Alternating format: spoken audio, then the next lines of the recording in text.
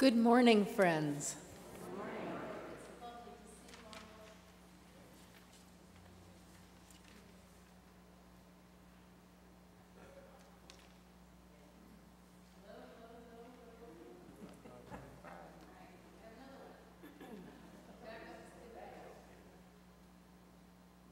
Now?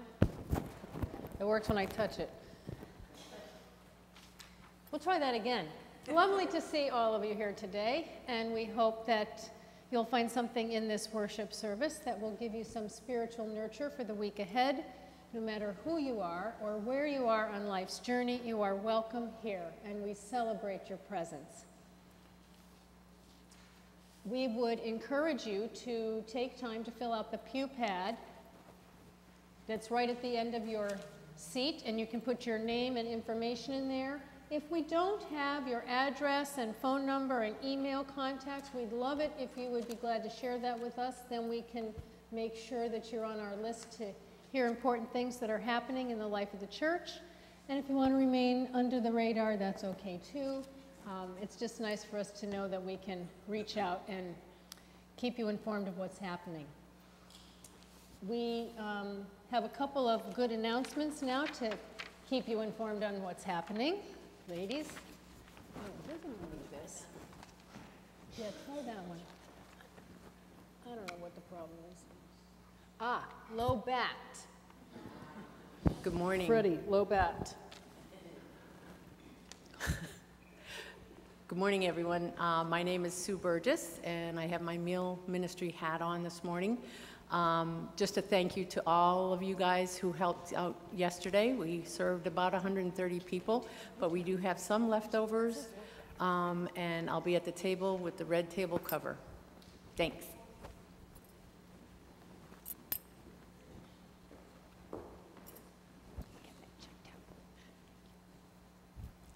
Good morning, everyone. I'm Brenda McDonald, and I'm here to just remind you that the purple cards you found on your pews this morning are for you to use to send a hello, a blessing, or prayer to someone.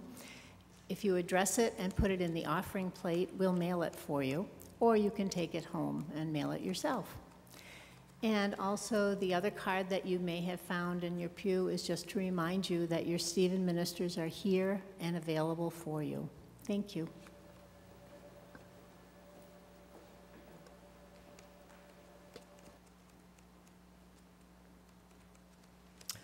And I'm here for the mission team. Uh, tomorrow is another opportunity to feed the poor at Bon Appetit. That's at Second uh, Congregational Church in Biddeford. It starts at 4:20 p.m. and you help serve and clean up. You don't have to make the meal. So if you would like to volunteer, please sign up under mission on the bulletin board in the atrium. Thank you.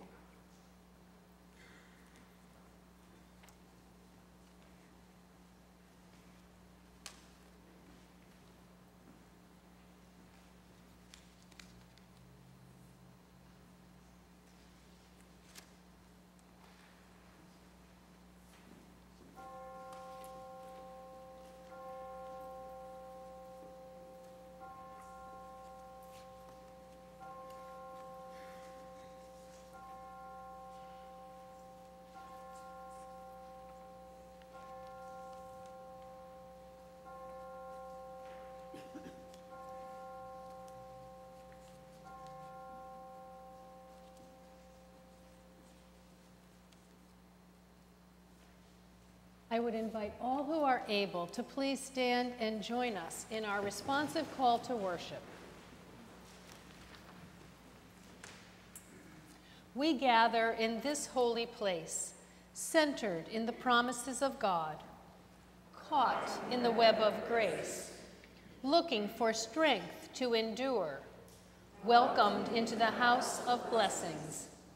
We gather surrounded by a cloud of witnesses lifted up by stories of faith, moved by challenging words and heartfelt prayers, desiring an outpouring of God's Spirit. We gather together in holy anticipation, and rejoice that God meets us here.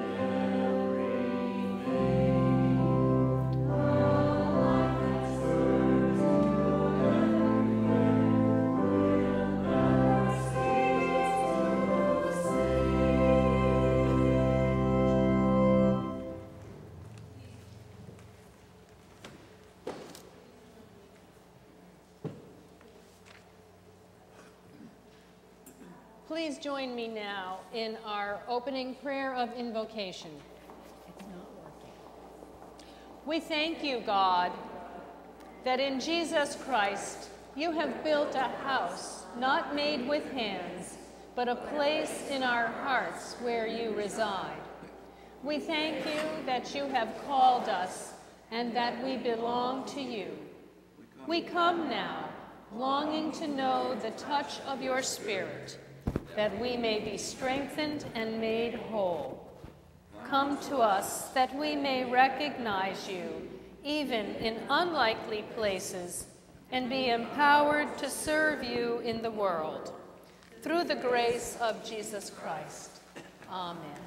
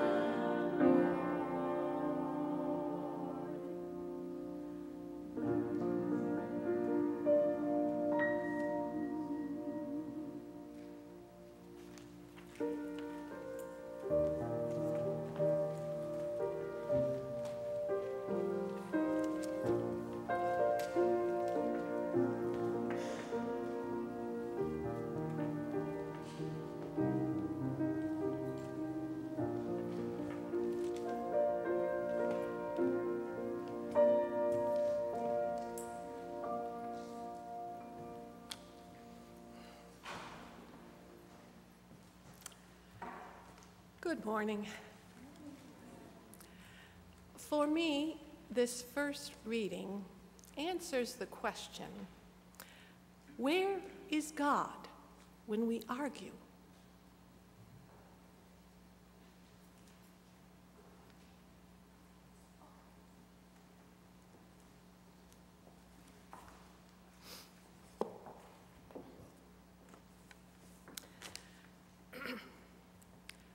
From the wilderness of Sin, the whole congregation of Israelites journeyed by stages as the Lord commanded.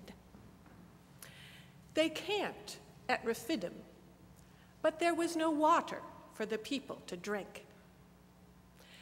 The people quarreled and said to Moses, Give us water to drink.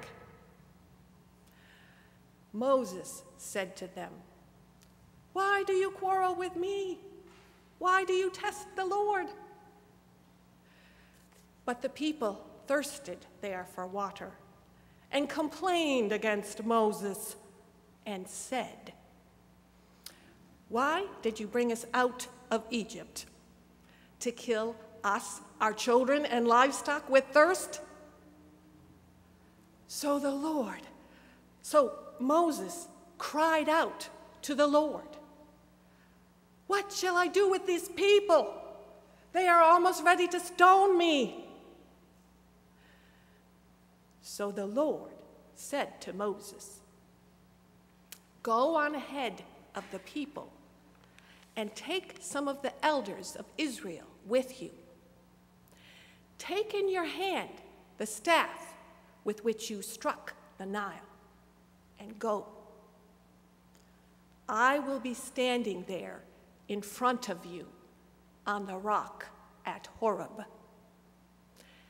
Strike the rock, and water will come out of it so that the people may drink.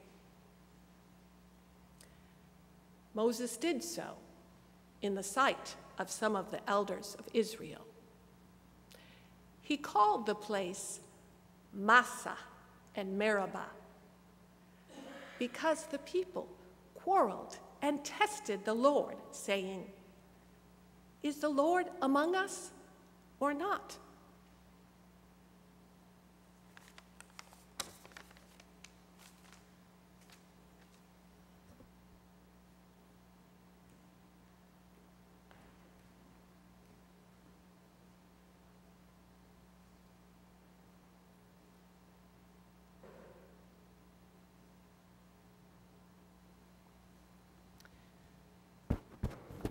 The lesson from the New Testament this morning is from Paul's letter to the church to the Hebrews. Paul says, Now faith is the assurance of things hoped for, the conviction of things not seen. Indeed, by faith our ancestors received approval.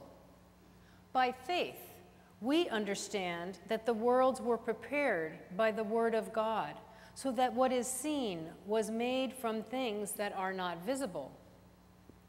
By faith, Abraham obeyed when he was called to set out for a place that he was to receive as an inheritance. And he set out, not knowing where he was going. By faith, he stayed for a time in the land he had been promised, as in a foreign land, living in tents, as did Isaac and Jacob, who were heirs with him of the same promise. So he looked forward to a city that has foundations, whose architecture and builder was God. By faith, he received power of procreation, even though he was too old, and Sarah herself was barren because he considered him faithful who had promised. Therefore, from one person, and this one as good as dead, descendants were born, as many as the stars of heaven and as the innumerable grains of sand by the seashore. All of these died in faith without having received the promises. But from a distance they saw and greeted them. They confessed that they were strangers and foreigners on earth. For people who speak in this way make it clear that they are seeking a homeland. If they had been thinking of the land that they had left behind them, they would have had an opportunity to return. But as it is, they desire a better country, that is, a heavenly one. Therefore, God is not ashamed to be called their God. Indeed, He has prepared a city for them. Here end these readings from God's holy word, given that we might have life and have it abundantly. Amen.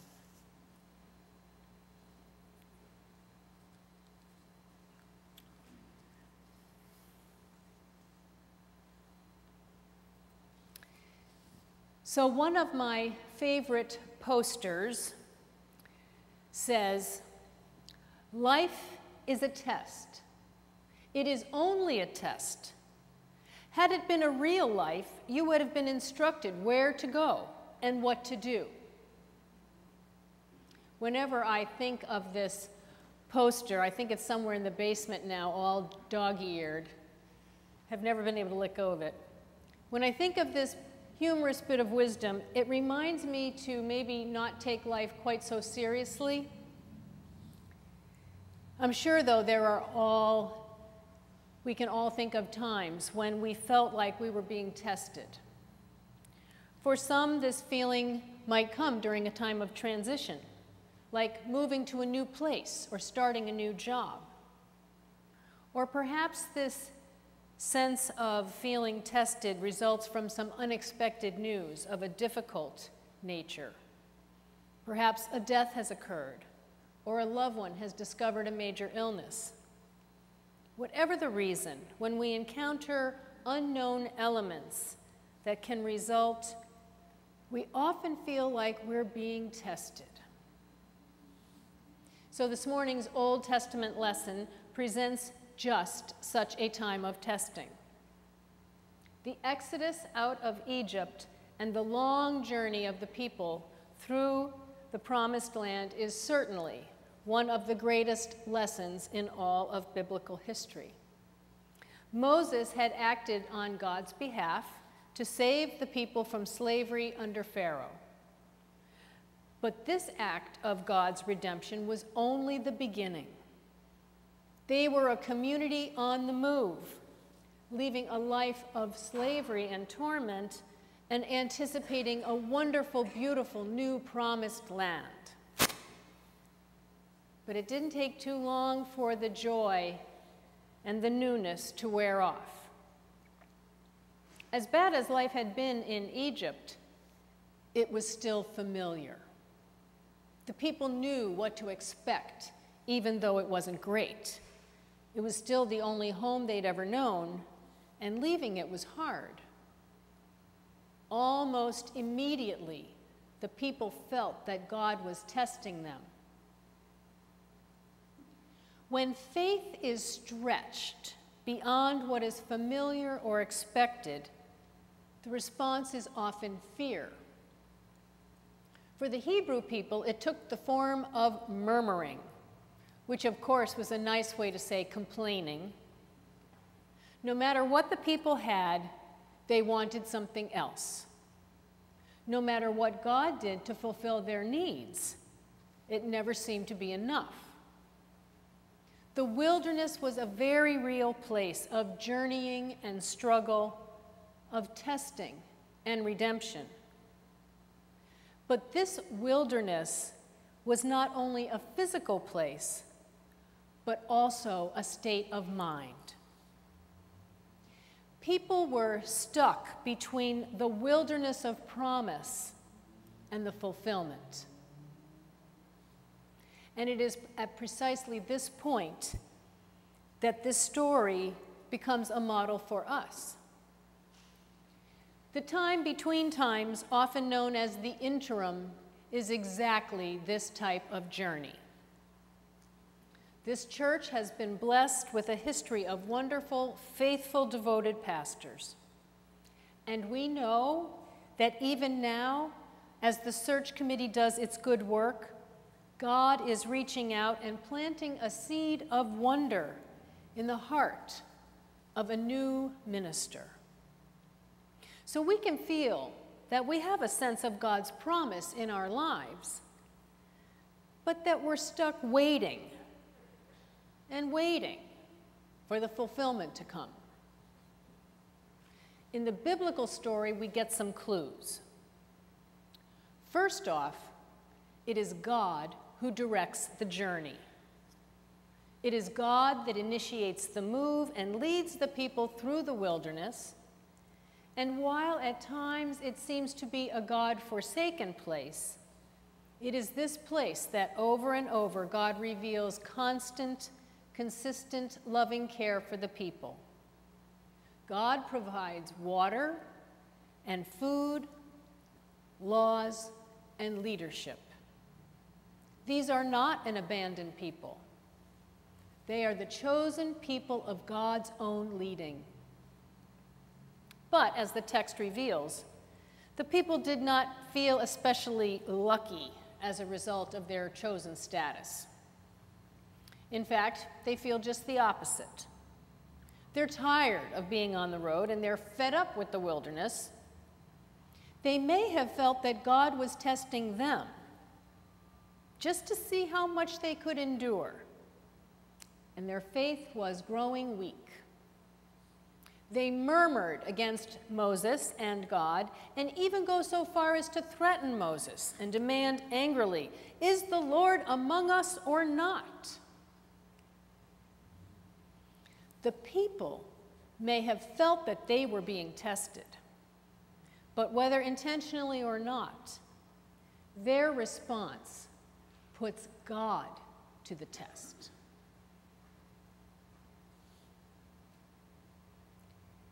How do we respond in times of testing? Some rise to the challenge, almost welcoming a test, where others would avoid it at all costs. Perhaps this comes from a linking of fear and testing which often begins very early in life, even as early as we attempt our first steps. The response that we receive from our families as we attempt the many developmental tasks further determines the attitudes we'll have about trying new things. But it really takes a firm hold when we get to school and learn about grades.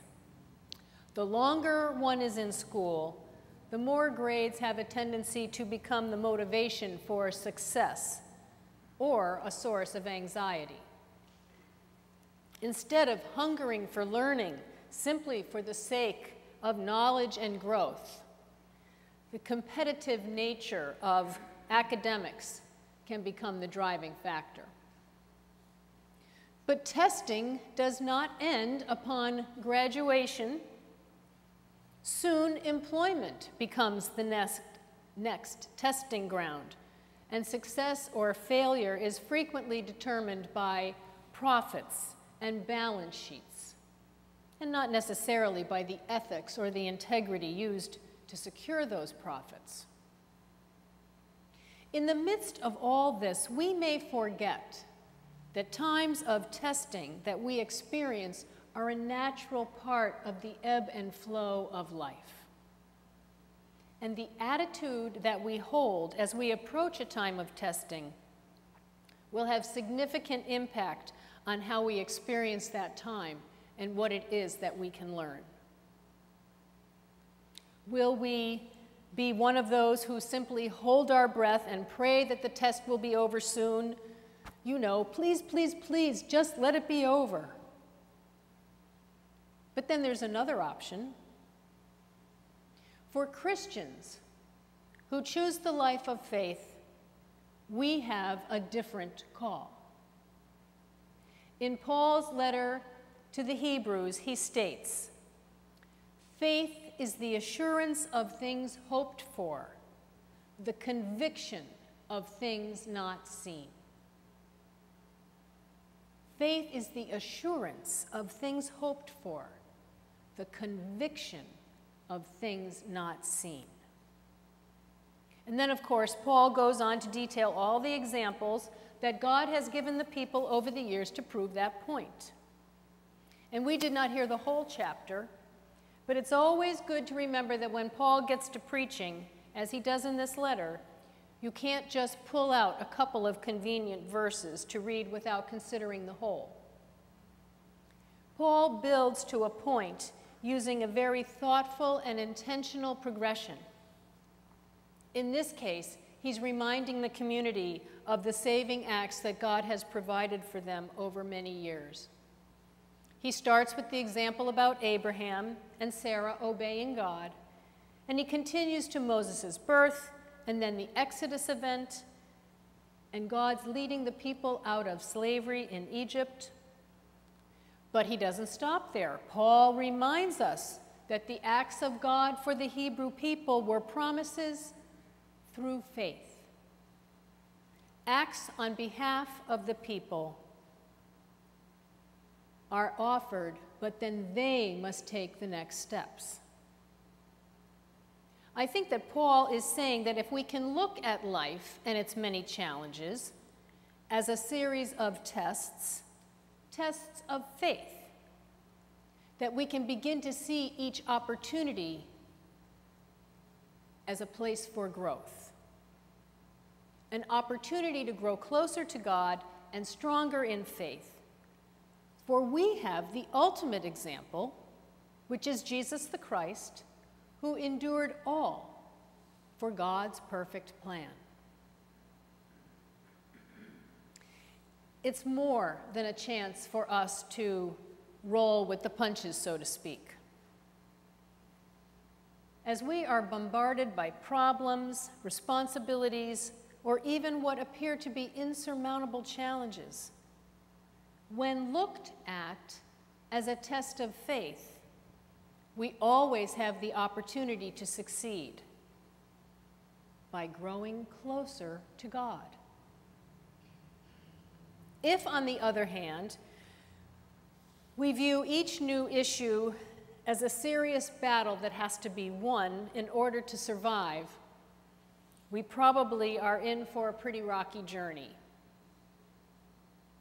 The only time we're likely to be happy is when everything is working out just perfectly. And we know how often that happens. As an experiment, try this. Think of an issue that you're being forced to deal with. It could be anything. Perhaps you have a demanding boss or a difficult family member. No smiling in the back about having a difficult boss. Glen Ellen. Sorry, I couldn't help it. Perhaps you have a demanding boss. Perhaps you have a difficult family member. If you can redefine these issues as an opportunity or as a test, then you can think about how to solve those instead of a constant struggling through them. Perhaps you can learn something from it. Ask yourself, why is this issue in my life right now? The answer might not come immediately, but if you kind of think about that and hold that in your heart, rather than struggling, you may very well find that there is something that you can learn. What would it mean if I put God at the center of this problem in my life? Can I possibly look at it from a different angle? Can I see the problem as a test of faith? Now, the biblical example shows the people's response as angry and grumpy and demanding. This attitude tests God. It is not the faithful response of God's people. God, however, does not punish the people in anger or in judgment. but God responds with one blessing after another and another. I do not believe that this is because God likes being put to the test, but because God knows that we will learn best through experience. The test can be a moment of opportunity. God knew what the people of Israel needed, and God knows what we need also. We have been given a wonderful and exciting journey to share together, and so we must continue day by day in faith. Now, of course, there will be moments of uncertainty. We might even feel like we're being tested yet again. But let us be reminded that courage is not the absence of fear, but the embracing of fear, even as we move ahead into the unknown. Courage is not the lack of fear, but the embracing and moving forward into the unknown. God's route to the promised land is not always quick. God's vision does not always coincide with the plans that we have made. But part of how we grow is by progressing from one faith lesson to the next. And part of how that happens, while we might consider it times of testing, can also be doorways of opportunity. The life of faith reminds us that God is loving us and walking with us through every phase of our journey. And no matter what funny posters I like to think about, having a sense of balance and a sense of humor certainly does help. But the truth, friends, is this the life of, Christ, the life of Christian faith is the real life. We have been given instructions on what to do and where to go. We are to love God, love each other, and love ourselves as we walk with faith and integrity. Yes, there will be times of testing, but this life is not a test. It is the real thing and the blessings of God are with us as we grow in faith. Let us embrace and rejoice and be thankful for all of God's blessings and graces. Amen.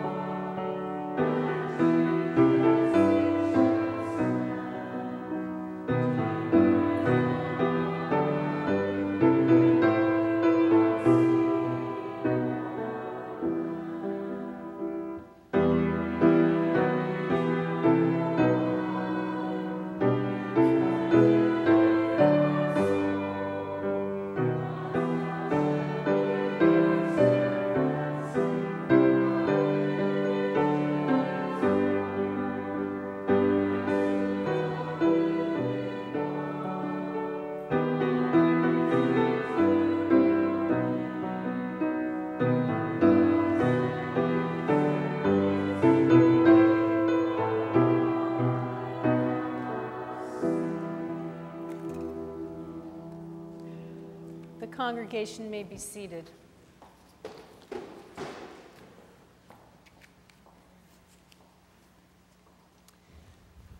Friends, at this time in the service, we like to ask for you to lift up the names of those who you would encourage us to hold in prayer this day. They might be prayers of thanksgiving and celebration, or prayers for healing, or strength, or support for those who we know who are in need. We would like to continue to hold the family of Audrey Milne in our prayers. Audrey's celebration of life happened here in the sanctuary on Friday, and her family was very um, pleased and grateful for all of the love and care from this congregation. And we continue to hold them in prayer in the difficult days ahead. Prayers that you would lift this day. Yes, here comes the mic. It, here comes the mic. I, I'm hoping that um, everyone in this congregation can please keep our entire country in its hearts and with all that happened in Charlottesville over the weekend and, and you know, so much hate. And uh, I don't know. That's the, I, I don't, there's just so much. anyway, so please keep my family and all the country in your hearts as we try to do the right thing and march against all this hatred. And we remember that in all things, God's love prevails. But it takes people of strong faith to stand up and stand for righteousness and justice. So thank you. We will pray. All of us, I'm sure, are praying every day. And let us also have hope and faith that that standing up will make a difference for good in the world. Thank you. Yes. Lou. Thank you, Sarah. I was going to pray the same thing. Um, my other prayer is to Pilgrim Lodge. This is the week for Destination Hogwarts. And as you know, I am still in a lot of debt and money issues, so that's why I did not, I had to choose to stay back this year.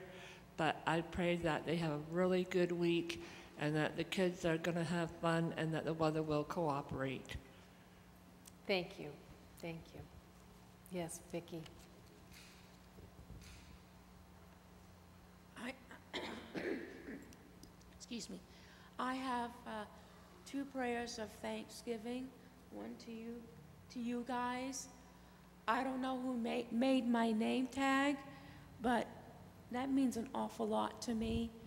It may not mean a whole lot to you, but that says welcome. And two, I have a brother in Portland who's opened his heart to me. And I praise God because he's the sweetest man that ever lived in my eyes. Well, thank you for sharing those blessings, Vicki. And you are welcome here, and you are part of this community, and especially because you have your name tag. And that's a nice hint to everybody who has a name tag that doesn't necessarily want to wear them. It's a sign that you are loved and you are here. Thank you. Yes, Doug? Um, two prayers, one a celebration. Carol and I celebrated our 37th wedding anniversary on Wednesday. Congratulations. 37. And a prayer and a prayer of healing and reconciliation for America. That I know we've had a wild past in our country of civil unrest and civil obedience, disobedience, and war between the North and the South. But let's put that behind us and pull together as a nation of, of Christians and Muslims and Jewish people and Hebrews and Buddhists and be America, please. Thank you, Doug. Thank you. Yes. Adria. Um, just a celebration for the little things that show you the good that is still in the world despite all of this hatred. This morning, I was going to get breakfast, and the person in front of me paid for my breakfast, and it was just a nice little reminder that there are good people out there. You just have to be one of them. Thank you, Adria. Yes. Jane.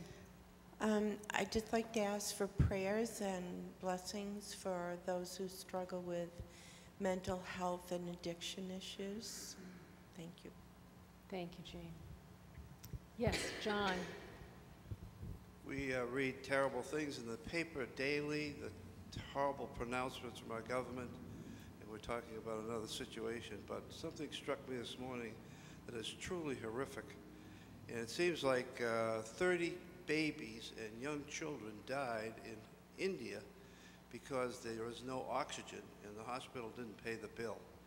30 babies and young, it just struck me awfully. Prayers for them. Thank you, John. Yes, Ed. My prayers are for the 25 million people who are living in North Korea at this time and that they will be kept safe. Thank you. Thank you, Ed. Yes. Healing prayers for my son Ernest, who is on his journey going to Wound Center. Thank you. Yes. Yes, Cheryl? Sorry, I have a cold.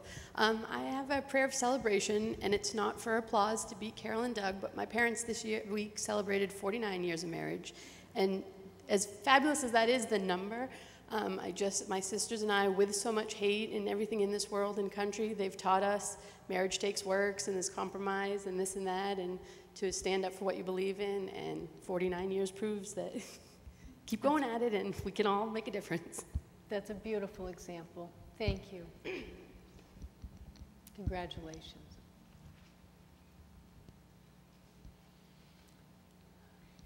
Yes, from the web community? From the web community, pr- prayers from Carol Connolly, prayers of healing for her co-worker Sandy, who was diagnosed with stage 2 cancer on Valentine's Day, and after going through several rounds of chemo, had a mastectomy this past Wednesday. Prayers of safe travels for Carol's brother Trip, who is heading to his new home in Florida Tuesday morning, and safe travels to Freddie as he heads back to the West Coast on Tuesday evening. Um, and I think this time it's for real. um, and also in prayers of thanks and joy as Carol and I celebrate our 31st wedding anniversary on Thursday. Wonderful. Congratulations. Lots of good joy. Friends, it's not lost on, on me um, all the very difficult and, and wrong things that are happening around us in our own country and abroad. There is no easy answer. Prayer does make a difference, but we have to do it day in and day out, all the time, with that conviction of things unseen, knowing that in fact this is what we are called as Christians to do. And we are called to stand for what is right and what is just, following the example of Jesus, because that's what we say we do as Christians, that we're going to follow the example of Jesus. And that's a really hard thing to do. So sometimes when we don't know what else to do, to pray and pray and pray some more, and also for us to gather together as people of faith to support and encourage one another. Because when we try to deal with these things individually, all by ourselves, it can get way too big for us. So, part of the challenge is that we are called to stand up in faith for justice, and part of the joy and the opportunity is that we are called to stand up together through love for justice. We've got to be in this for the long haul, folks. There's no magic wand that's going to make it all better in a week or a month or even a year. But by our own example every day, for our families, for the people that we interact with, and by watching one another and having encouragement and support on how to do this, standing in faith, we do learn bit by bit. And sometimes when we're strong and someone else is weak, then we lift them up so that that same thing might be there for us on a day when we feel weak and overcome. let us persevere, knowing that there is a cloud of witnesses beyond us and before us that have shown us also how to walk this life of faith.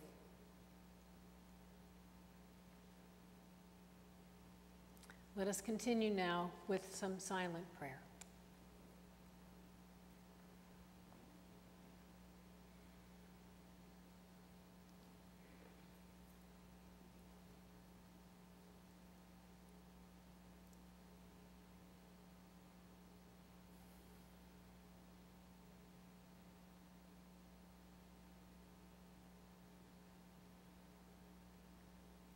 Good and gracious God, we come to you now with humble hearts.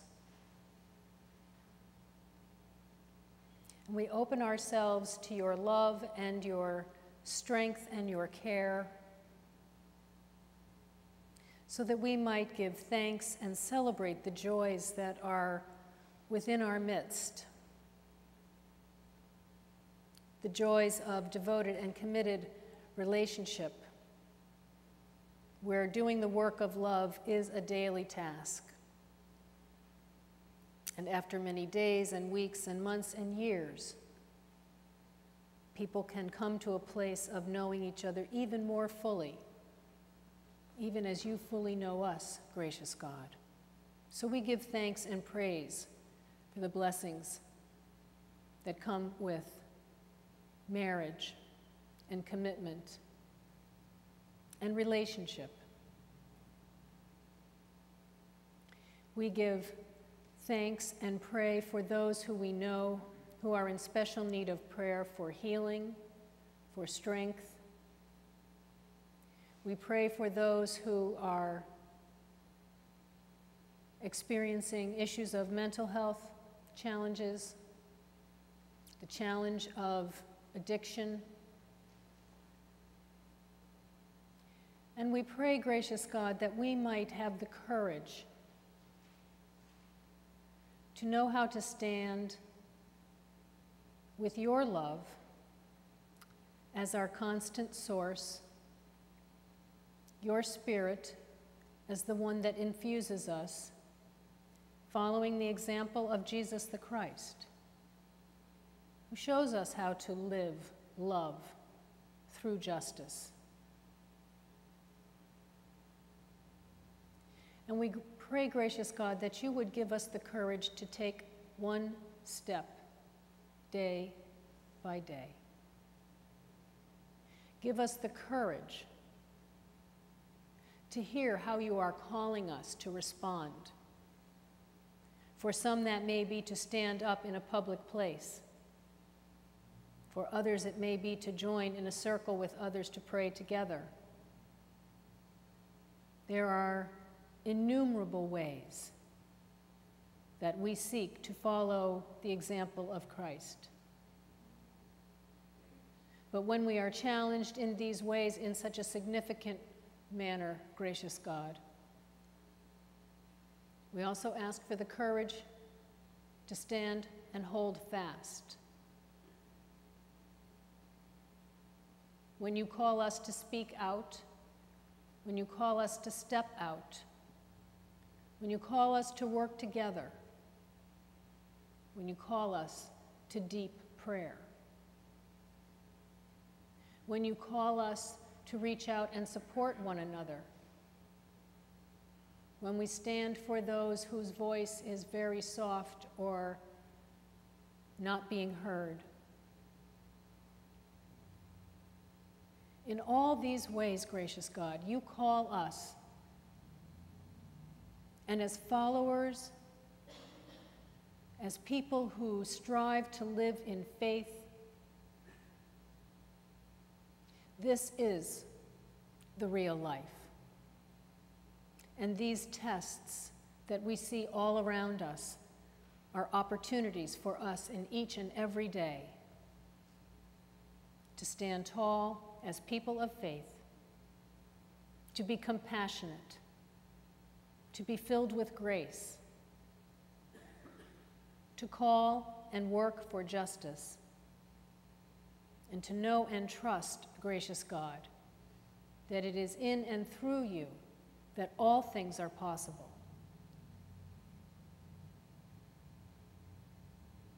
For those whose names have been lifted this day for special prayers, we lift them to your care, loving God. We pray that you would give us courage, not so that we might have no fear, but that we might stand fast in faith in spite of our fear. And we know that in all things, gracious God, you know what it is that we need, and in faith you will provide it. And we are honored to serve you, the risen one, in whose name we pray. Our Father, who art in heaven, hallowed be thy name. Thy kingdom come, thy will be done, on earth as it is in heaven. Give us this day our daily bread, and forgive us our debts as we forgive our debtors. And lead us not into temptation, but deliver us from evil. For thine is the kingdom, and the power, and the glory forever.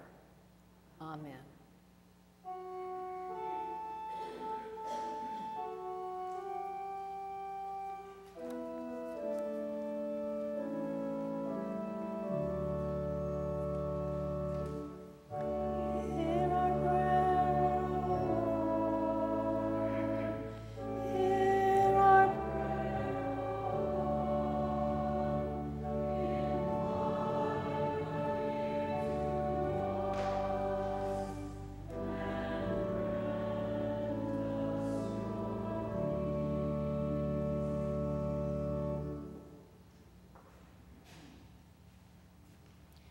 As we continue to have the opportunity to rejoice and give thanks for the ministry of music in our midst, we also have an opportunity to offer our gifts to God in this morning's offering.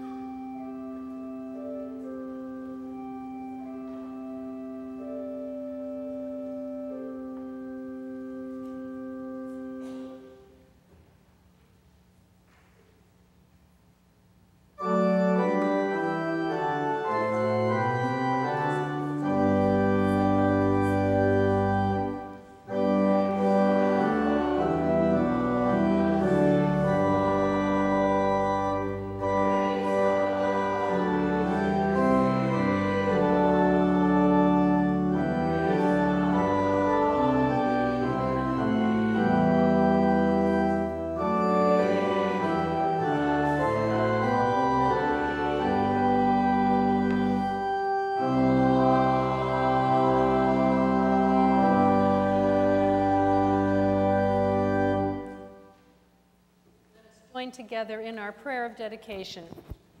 Generous God, thank you for the blessings you bestow upon us daily. For every gift we have received, including the gift of faith, we give you thanks. Open our hearts in generosity and humility that we may be eager to share what we have and serve you in ways both large and small. We pray in Jesus' name. Amen.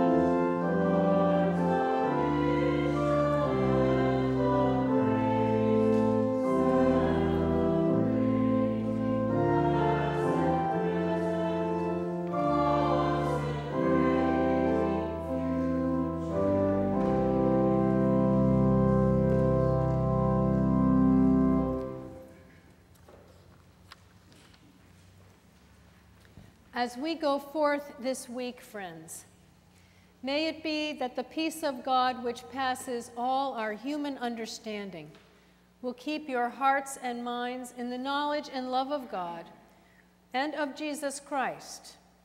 Be the blessing of God, who is Creator, Redeemer, and Sustainer.